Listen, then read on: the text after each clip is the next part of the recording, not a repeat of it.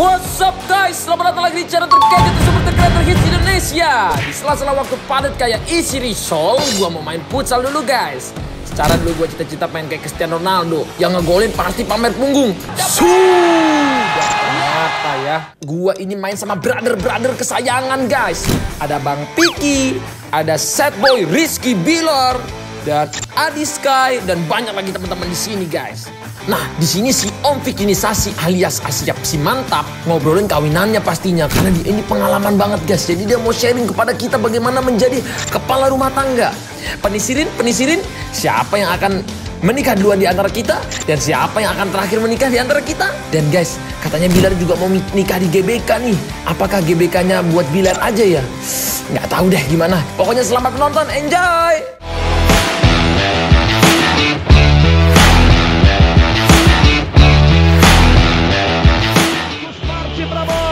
Bola. Ele vai com o pé direito, bateu dentro.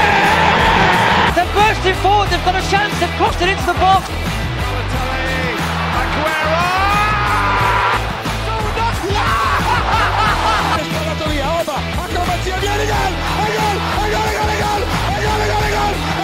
Kan tanggal berapa kata Tata? Kemarin kan 21 nggak jadi, jadi tanggal berapa? Oh 13 Pantas bentrok tadi mau sama ini juga Belum kan diundur. kan emang. Jadinya tanggal. Alasan aja Iya, tapi nggak apa-apa. Belum dia Mundur masih. semingguan lah Seminggu dua minggu Seminggu dua minggu Tapi Maret juga. nah, Mungkin mungkin bisa jadi Maret bisa jadi awal April Tapi awal April tuh tanggal 13 sudah Ramadan kak. 13 April kan Iya jangan sebelum itu ya Sebelum tanggal 5 lah Nah, Ya, GBK? Kalau sekarang PSSI aja belum boleh main pak Berarti Iya. GBK? Boleh sama GBK boleh Gue cuman GBK kasihan boleh. sama netizen Izinnya. Izin boleh Netizen izin boleh. Yang penting nggak boleh datang ya. Berkerumun ya kalau acaranya. Takutnya jadi kontroversi ya. Iya maksudnya kadang-kadang orang sangkainya buruk pak Sebenarnya gue juga pengen me- nikah di GBK itu dari dulu banget. Oh. Sebelum gue kenal Lesti. Karena kan kita sama-sama punya hobi bola, Pak. Benar Tapi Atta pernikahannya sudah ini udah kedengeran sampai UNESCO. Ayo, sih, sih, sih, sih, sih, ampun, Oh. Berarti sama kayak lu ya. Kecamatan Ini- udah kedengeran. Konfianan denger tuh ya. Kopi Ana. Sekjen PBB ya. Iya, Sera Rapat udah pada Oh, acara rapat kan, Iya. waduh. Nikahan gua kan di Sare musim denger juga ya di akhirat ya. Enggak dong. ini mau juga nih mau nikah juga. Iya. Lagi nentuin tangga. Bulan ini ya katanya bro. Lo kata nikah kayak jual kacang goreng. Tapi kalau udah yakin biasanya mau minggu ini bulan ini nggak apa-apa bro. Yang Bro. penting yakin ya kan bro. Nikah mah gampang, tapi kan butuh banyak persiapan. Oh. Ah, siap. Modal, modal. Lo aja juga persiapan lama. jangan, lu salah kalau begitu. Nikah itu harus jadi momentum sejarah. Karena nikah itu cuma sekali dalam seumur hidup kita. harus dipersiapkan makanya terjun helikopter. Iya. Oh siap. Cincin kecebur ke laut. Kan rating. berenang juga ke laut Berenang, kan. nyemplung. Kan kan demi, demi ratingnya. Bang, itu takdir saya. Bang. Tiga hari lu menjelang hari pernikahan hari H. banyak cobaan. Udah, itu tiga hari itu fatal, fatal, Fatal. fatal itu harus bener-bener mental itu dipertaruhkan. Iya. Kadang-kadang maaf ada cewek ngegodain kita. Tiba-tiba ada tuh. Ada aja masuk. Lu ada tuh pas itu. Ada kemarin lagi. Berapa banyak kasih tahu? 16,1. 16,1 juta. Enggak, 16,1 orang doang.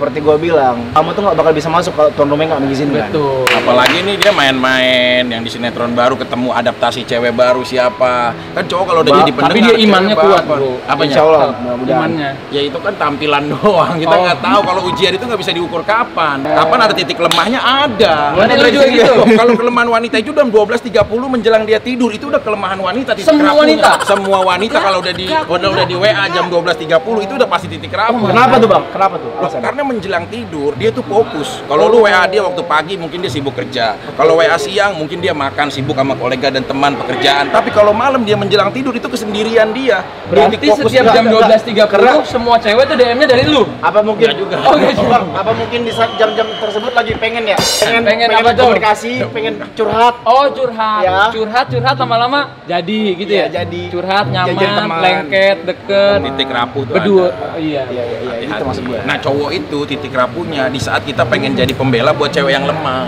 Tiba-tiba Mas Atta lagi apa? Berarti setiap wa- wanita-wanita yang pernah sama lu, wanita-wanita lemah semua tuh ya? Ya di jam itu, itu strategi yang mematikan. Udah pasti.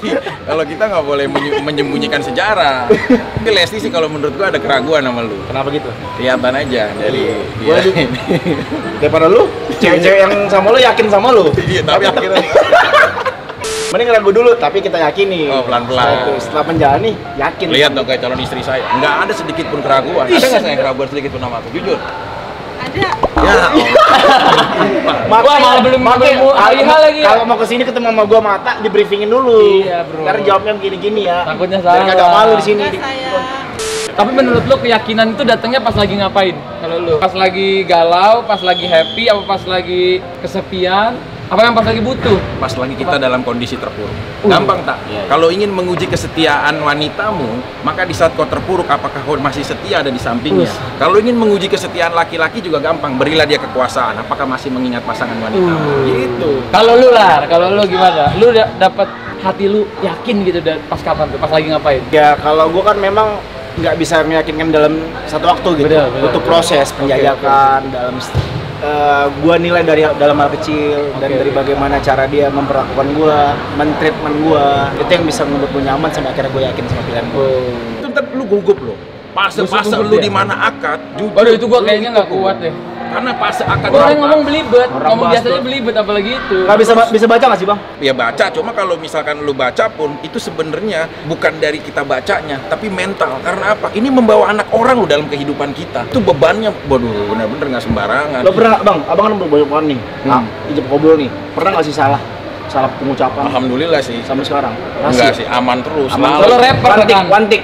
Rapper. bukan juga karena kan kita udah tahu nih bahwa ini akan menjadi eh, makmum di dalam hidup kita yang penting orang tuanya ada apalagi orang tuanya netesin air mata itu berat bang berat pas bang lagi pas lagi mau ucap itu Bang. uh, satu tarikan nafas Bang. itu Oh satu tarikan napas harus nggak boleh dua kali. Misalkan telah ku terima nikahnya nggak boleh begitu. Langsung telah ku terima nikahnya Eriok Tarani binti Sandi dengan mas kawin seperangkat alat dibayar tunai harus satu Oh napas, sia gitu. sia. iya. Itu latihannya. Bang, berat tuh ketika ngeliat orang tuanya nangis tuh. Oh iya loh. Berarti, tapi lo berat juga gak sih ketika anaknya nangis pas tinggal? Ini jatuhnya konflik mulu. Enggak tapi tapi itu beban. Tan. Lu mesti lu akad lu berat. bang, Lu tapi sembarangan. mempersiapkan diri bang untuk akan itu bang. Ya, kalau gue udah hafal di luar kepala, gue mah maaf ya ibarat misalkan bukan nama dia pun gue udah hafal siapa. Gimana? Iya misalkan. Maksudnya gimana? Maksud ini kan ada bini bini di belakang. Iya bukan. Nah, misalkan, itu. misalkan namanya siapa? Ini kursi ringan sih. Jangan dong. Nanti kena pendobrakan lagi. Aku boleh. Tapi yang ini nggak didobrak lagi kan pintunya kalau Enggak, ini hatinya ini. Oh hatinya didobrak. Siapa tahu abis denger Oke, oke, eh, oke. saran dari lo berdua kan gue jadi jadi ada pandangan buat nikah segera gitu kan kita nih karir. Menurut gua gini bro, Nah, terus Ngejar kenapa karir. mau nikah? kejar karir nggak bakal ke mana bro. Dengan lu menikah, lu membuka pintu rezeki lu lagi. Lumbung rezeki lu, lumbung berkah. Jadi hidup lu, iman lu disempurnakan di agama bro. Masya Makanya. Allah, Masya Allah. Oleh karena itu, gua mau cepet aja lah menikah. Lu udah ada yang lu suka langsung aja bro, jangan tunggu mapan, jangan udah langsung bro. Bener, bener Eh, juga sih. Pak, masalahnya yang dia suka udah sama musisi.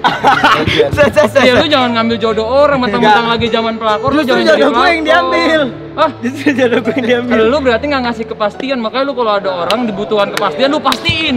Jangan Aduh. biarin cewek digantung, kasihan cewek-cewek semua. Tunjukin lu be a man bro. Mati gue, mati gue, mati.